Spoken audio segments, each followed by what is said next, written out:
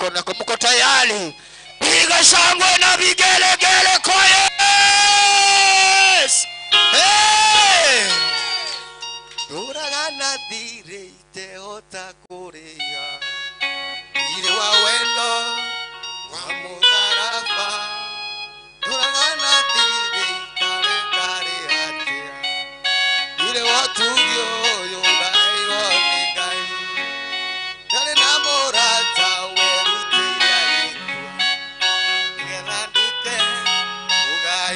moyo. Njakirutira twaranage nani ngira mikuru nduma ya gikuo ithenya riakwa agikua akioya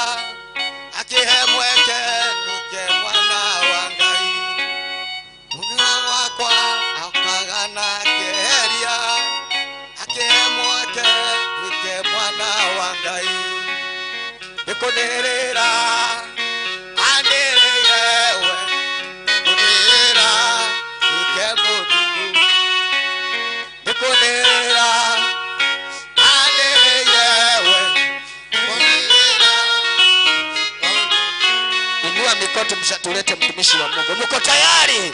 Inua mikono mletee mpako mafuta wa mungu. Mko tayari? Piga shangwe na vigelegele kwa yesu.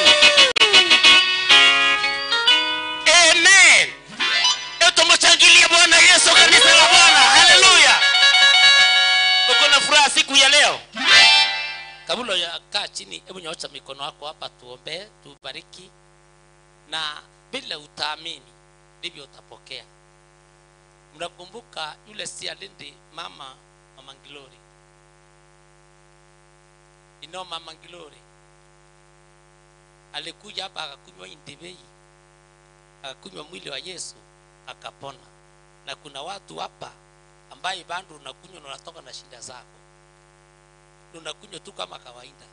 Amini hii yesu alisema ukifanya hivi na kila mtu atoke hapa shida zake zikiwa zimeondoka katika jina la yesu. Na nina uhakika hakuna jambo ngumu bora ukiamini. Biblia inasema siku za mwisho watu wengi watajitenga na imani kwa sababu ile shetani hataki ni watu waweze kuwa na imani. Lakini ukiamini shetani ana nguvu juu ya maisha yako. Nyosha mikono yako mahali hapa. Sema neno. Sema hii ni andi bwana yesu ulituahidi atoke hapa akiwa anapona. Hata kama kuna mtu aliyolaaniwa atoke hapa laana siwe zimetoka. Hata kama kuna mtu alikuwa amerogwa uchawi hauna nguvu tena katika jina la yesu. Baba mungu tumenyoosha mikono yetu sisi na imani tukiamini hii ni kanisa lako uliolinunua kwa damu yako iliyemwagika. Nasi ukatuambia tufanye hivi kwa ajili ya ukumbuso.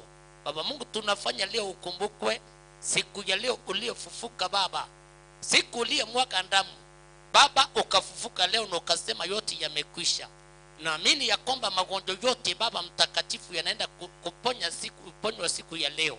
Katika jina la yesu. Watu wanaenda kuishi shetani alikuwa amepanga mabaya kwao. Hakuna kufanikiwa.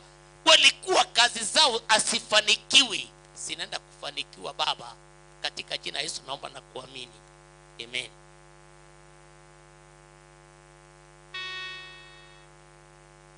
Hebu tumchangilie bwana yesu kanisa la bwana.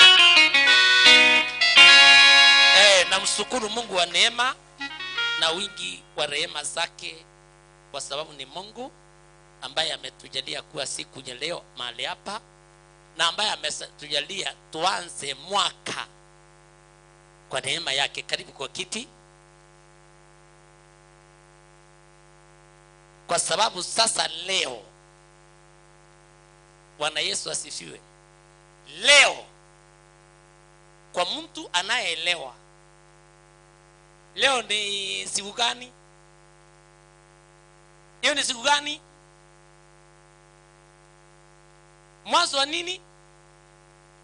Kuna wengine hawaelewi tunasema nini. Mwanzo wa mwaka aje? na mwanzo ulianza januari. Si mwaka ulianza januari? Eh? Sasa nyinyi mnasema mwa- mwanzo wa mwaka na mwaka ulianza januari aje watu wa mungu? Eh? lakini leo ni siku gani? Mwanzo wa mwaka. Ni aje tunasema ni mwanzo wa mwaka? Siku ya leo ndio tunaanza mwaka. Ni wangapi wanaamini hiyo? Tunaanza mwaka kwa nini wacha hii miaka imewekwa hii ingine yawekwa ya, ya mlango wa nyuma. Tukifuata ukweli leo ndio siku ile mwaka ulianza. Kwa maana leo ndiyo yesu alienda na wanafunzi wake katika mlima wa mizeituni. Na akasimama mbele yao akawabariki. Na akasukuliwa mbinguni. Na, akas, na, na, na malaika wakasundia wakasema hivyo amevaa mbinguni ndivyo atarundi na siku ikaanza hapo siku ya kwanza baada ya siku mbili atarundi baada ya, ya miezi mbili atarundi baada ya miaka mbili atarundi baada ya miaka ishirini atarundi baada ya miaka mia mbili atarundi mpaka sahii tuko miaka ngapi? Mpaka leo tuko miaka ngapi? Kwa hivyo mwaka ulianza lini? Al, na wale ambayo wanajua ukweli wacha vile shetani amepanga mambo ingine watu wakakuja wakahubiriwa mambo ingine sijui si- mambo inaenda namna hii lakini ukweli. Ile tunahesabu miaka naye ni nani? Tunahesabu naye miaka. Si ni yesu? Kama yesu ndio tunahesabu na miaka si ni siku ile alipanda eh, mbinguni? Na siku ile alipanda mbinguni ni lini? Si ni- eh? leo. Leo alivuka asubuhi na akatuma mariamu akamwambia nenda waambia wanafunzi wangu tukutane katika mlima wa wapi asubuhi saa kumi na moja walienda kaburini wakaenda wakiuliz- wakiulizana ni nani atakatutolea njiwe ili wampake wa, wa, wa, wa mafuta. Walipoenda walikuwa wanaulizana kwa maana walikuwa wanawake. Ndio walikuwa mtu wa kwanza kuona yesu amefuka ni mwanamke. Si hata mwanaume. Hata petro alienda kuambiwa huko wakiwa wamelala huko wakisema mambo amekwisha wakiwa wamelala mwanaume naye asubuhi kulala bwana yesu asifiwe. Sema amen. Sasa walipoenda wakakuta wakiulizana ni nani atatutolea ile jiwe? Waenda kufika kaburini wakakuta yesu ayu. Na kaburi imefanya nini? Imefunguliwa nje. Malaika alichuka akatua lile njiwe na biblia inasema malaika wawili walikuwa mahali pale. Na hapo ndio walimwambia kama alivyokwisha kuambia. Atafufuka siku ya tatu. Mnatafuta aliyo hai katika wafu? Amefufuka kama alivyoambia. Kwa hivyo leo hii ndiye alifufuka na akapaa mbinguni na akainua mikono miwili na akawabariki. Wakasema hiyo mikono miwili ameinua atarudi baada ya miaka ngapi? Baada ya siku ngapi? Baada ya miezi ngapi mbili baada ya wiki mbili baada ya miezi mbili baada ya miaka mbili baada ya miaka ishirini baada ya miaka mia mbili baada ya miaka elfu mbili. Na leo tuko tu- 2024 tukiongojea yesu. Na hiyo ndio siku ilianza kuhesabiwa. Lakini ukiangalia miaka inaanza wapi? Januari. Na kabla yesu kukuja kabla yesu kupaa mbinguni miaka ilikuwa inahesabiwaje? Ilikuwa inatoka elfu mia tisa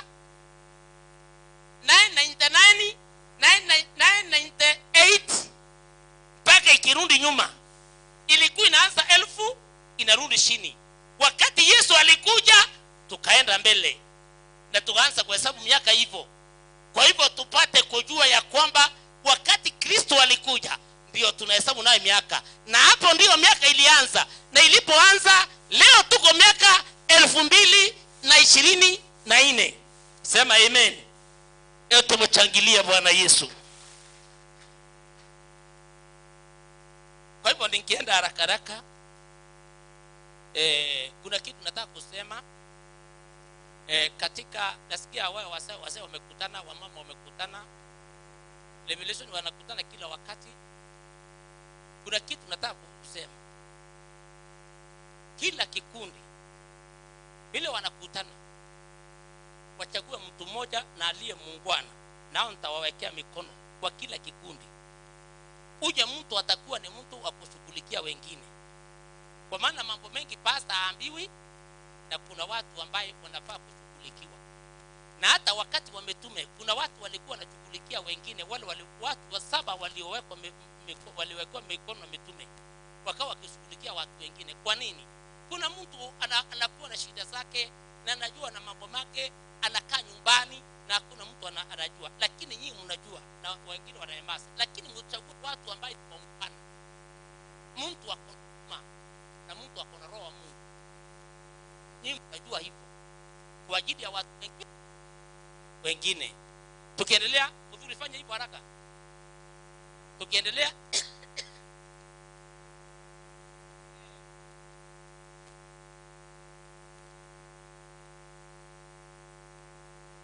lingine nashukuru mungu. Kwa ile nafasi nimepata huko kwa redio. Wapendwa hapa mnaona nyinyi.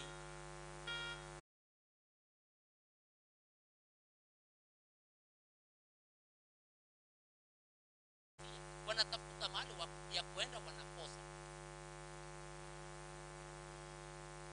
Leo hii kule nilikuwa nilikuwa naombea watu ni kusema na vile unasema hii bibilia ulisomea lini wewe? Kulingana na ile Makristo nimefundisha wakakubali yani wakaniambia we pasta tuombee. Na nikawaombea. Ndio usiende ukisema pasta hata hapa tunataka nabii. Sasa unataka kuniambia bwana manabii pasta anataka hata sisi tunataka nabii hapa? Tunataka nabii hata sisi ambaye bwana hii ni maandiko. Bibilia sema kama mwingine ndio anakuanga hapo wakati mwingine ananiambia. Alienda akakutana na nabii akamwambia ati yule mume alikuwa na wako na watoto karibu nne. Ule nabii ule bwana amekuoa. Ah, huyo mtu ameolewa na kwa hana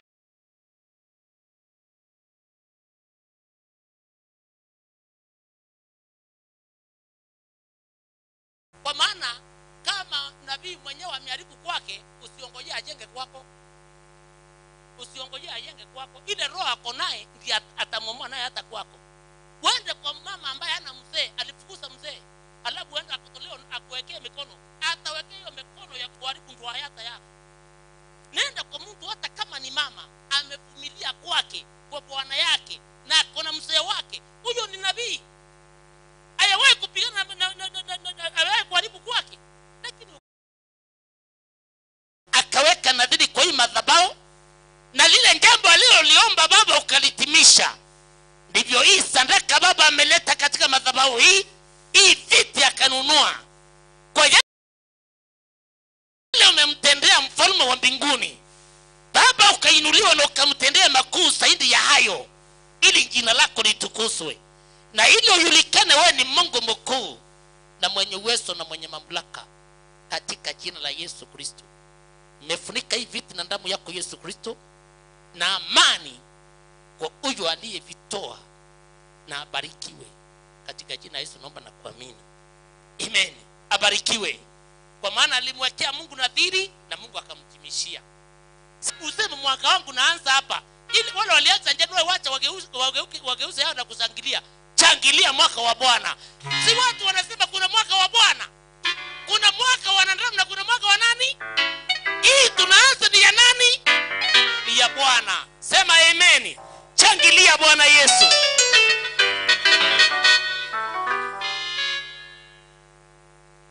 twende katika matendo ya mitume.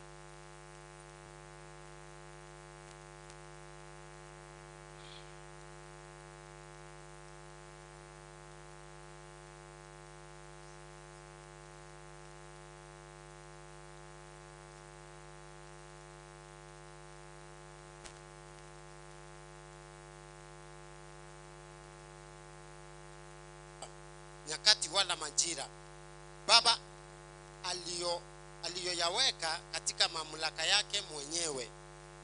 Lakini mta, mtapokea nguvu akiisha kuajilia juu yenu roho mtakatifu.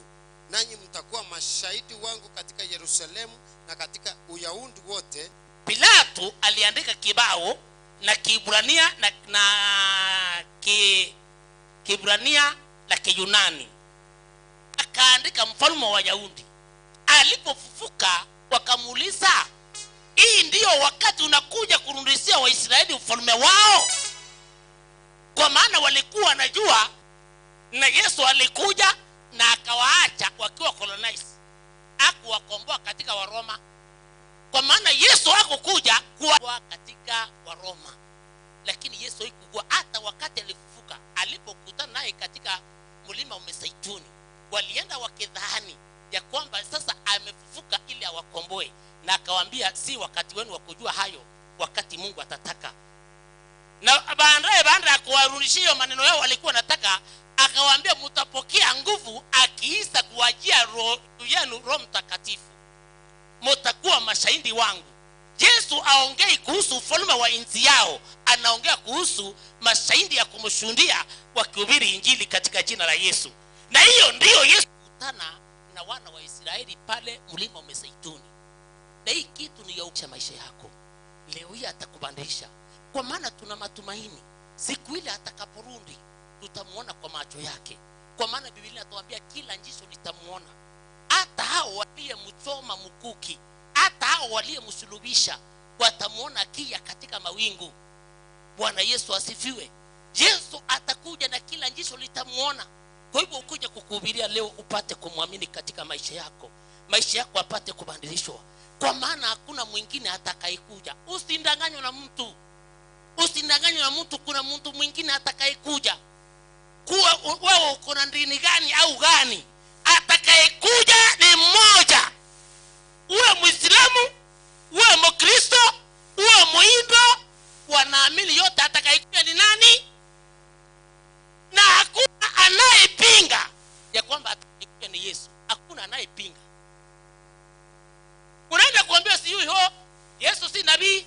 Yesu yesu ni nabii. Yesu si mwana wa mungu. Yesu si mungu. Hiyo ni maneno. Lakini wa- waliomchoma mukuki kuna yule askari alienda akamtuka mukuki hivi.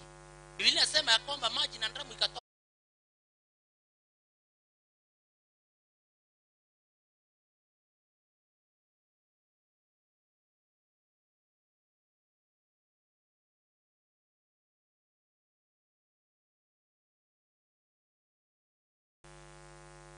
bwana yesu asifiwe.